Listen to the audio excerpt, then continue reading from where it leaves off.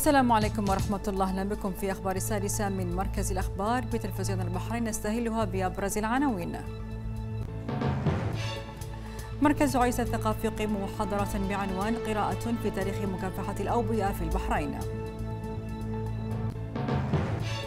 وزير التربية والتعليم يرى الحفل الختامي الافتراضي لمسابقة ريادة الأعمال والابتكار طلبات الثانوية. وفريق محافظة العاصمة المشترك يواصل الإجراءات الهادفة إلى تخفيف كثافة العمالة الوافدة في مناطق سكنهم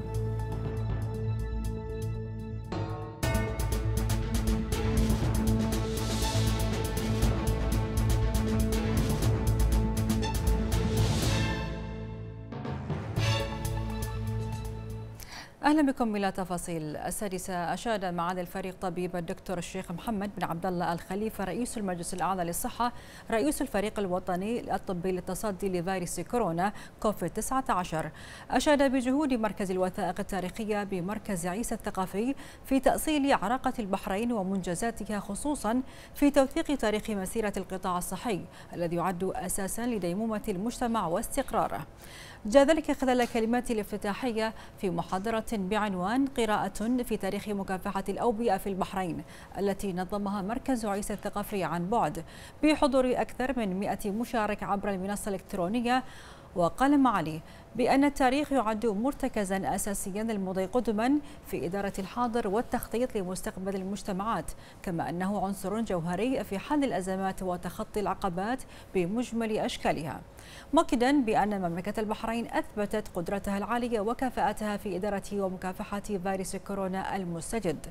وأضاف لكادر الأطباء والممرضين والمتطوعين وفريق البحرين في الصفوف الأمامية فضل كبير وبصمات واضحة سيوثقها التاريخ وسوف تخلده الأجيال القادمة.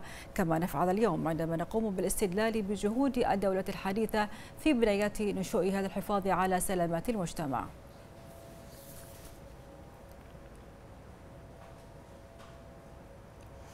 أكد ماجد علي النعيمي وزير التربية والتعليم حرص الوزارة على تعزيز مهارات الطلبة واهتمامها بتطبيق الذكاء الاصطناعي وتحقيق متطلبات التنمية المستدامة انطلاقا من توجيهات حضرة صاحب الجلالة الملك المفدى وسمو رئيس الوزراء وسمو ولي العهد مما جعل البحرين تتبوأ مكانة متميزة في تقارير التعليم للجميع الصادرة عن منظمات اليونسكو إلى جانب العديد من التقارير الدولية الأخرى التي أكدت على ريادة المملكة المشتركة في مجالي التعليم والتنمية.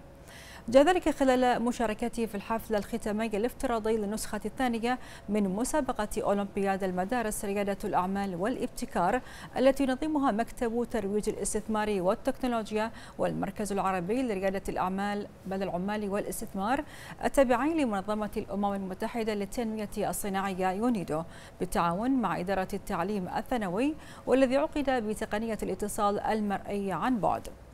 وقد أشاد الوزير بهذه المسابقة التي شهدت إقبالا لافتا للمشاركة مما يؤكد نجاحها والسمعة الطيبة التي حققتها في أوساط الطلبة مشيرا إلى الدور الكبير لهذه المسابقة في نشر ثقافة الابتكار والريادة والاستثمار لدى الطلبة.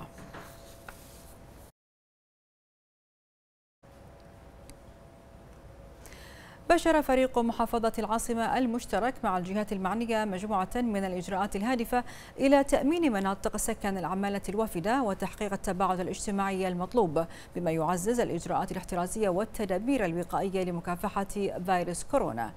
ويأتي ذلك ضمن الجهود التي تقوم بها المحافظة لتخفيف كثافة العمالة الوافدة في مناطق سكنهم والعمل على تحقيق السلامة العامة في مباني السكن الجماعي المشترك. وعليه فقد تم استدعاء عدد من أصحاب هذه المساكن للتوقيع على تعهد تصحيح أوضاع مبانيهم. فضلا عن قطع التيار الكهربائي عن عدد من المباني وأرجاعه إلى أخرى إذا عدلت أوضاعها. هذا وساعدت هذه الإجراءات في خفض كثافة العمال في المباني المكتظة ويواصل فريق العمل زيارته الميدانية لتصحيح أوضاع غالبية المباني المخالفة للاشتراطات وهي جهود تعكس الإصرار على المضي قدما في مكافحة فيروس كورونا وفق منهج علمي منضبط.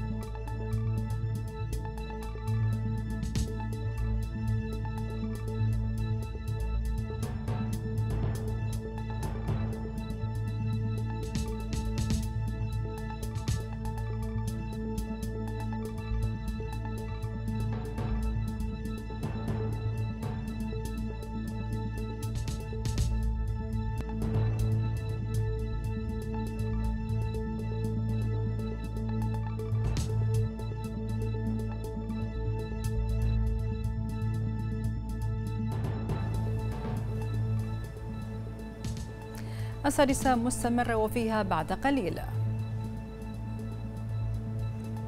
معهد الإدارة العامة بيبا ينظم ملتقى المدربين الإلكتروني الأول.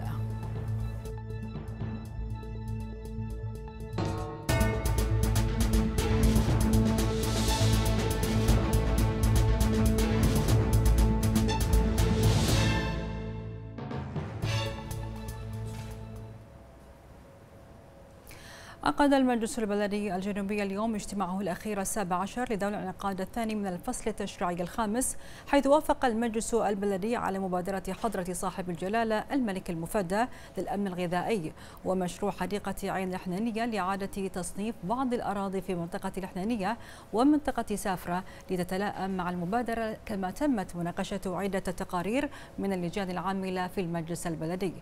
وقد تمت الموافقة على التقارير بشأن إعادة تأهيل البنية التحتية لتسهيل عبور المقعدين على المقعدين على الكراسي المتحركة في الدائرة الأولى بالمحافظة الجنوبية وبشأن إقامة مشروع الأرصفة المضيئة بشوارع المحافظة.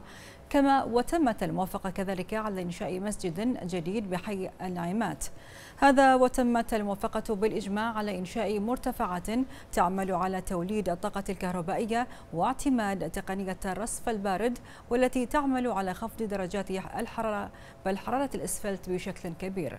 بالإضافة إلى ذلك وافق المجلس على تمديد فترة العمل في الأسواق المركزية الجديدة. بالإضافة إلى الموافقة على تقرير بشأن وضع ضوابط لتنظيم محلات المستلزمات النسائية. بشرت لجنة حصر مساكن العمالة الوافدة بمحافظة المحرق عملها بالنزول الميداني لتفقد عدد من مساكن العمال بالمحرق برئاسة العميد عبد الله الجيران نائب المحافظ وبحضور عدد من ممثلي الجهات المختصة.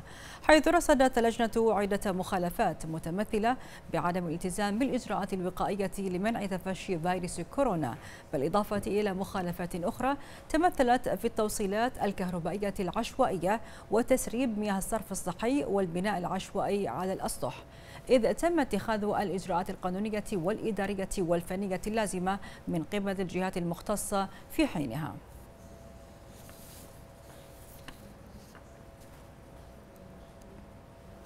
نظم معهد الإدارة العامة بيبا ملتقى المدربين الإلكتروني الأول بحضور 80 مدربا معتمدا من مملكة البحرين والخليج العربي. وقد سلطت جلسات الملتقى الافتراضي ضوء على التحديات التي تواجه شركاء المعهد من فئة المدربين المعتمدين بهدف التباحث والتشارك لإيجاد الحلول المناسبة. وتم التطرق كذلك إلى التحول السريع في عملية التعلم والتطوير وضرورة استثمار التقنيات والتكنولوجيا الحديثة بالإضافة إلى موضوع استدامة منظومة التعلم والتطوير في ظل الأزمات وأهمية الاستثمار في البحث العلمي بما يرتقي بالمخرجات التعليمية. هذا ويسعى المعهد من خلال هذا الملتقى إلى تطوير الشراكة الاستراتيجية التي تجمعه بالمدربين المعتمدين عبر تبادل الخبرات العلمية والتطبيقية المتنوعة والتباحث في عملية صناعة المواد التعليمية والتدريبية بما يرتقي بالمخرجات الحكومية ويطور القيادات الوطنية.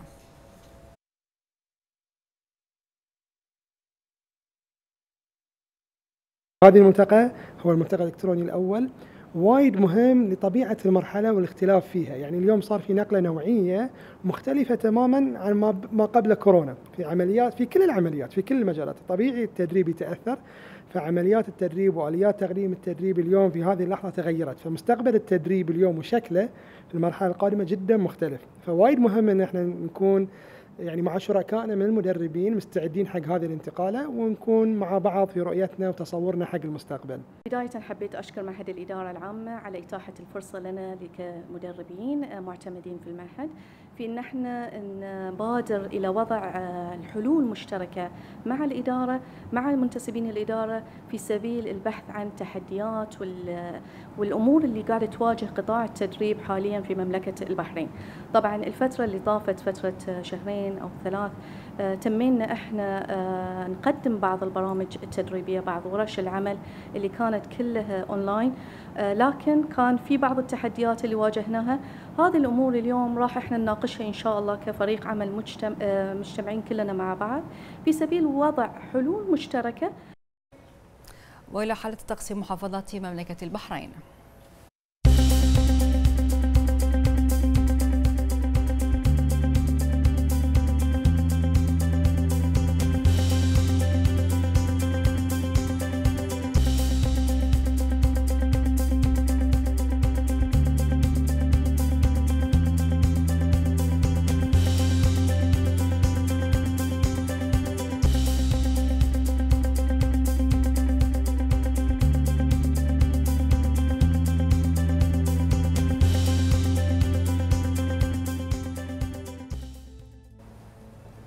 وبهذا وصلنا لختام أخبار السادسة إلى اللقاء.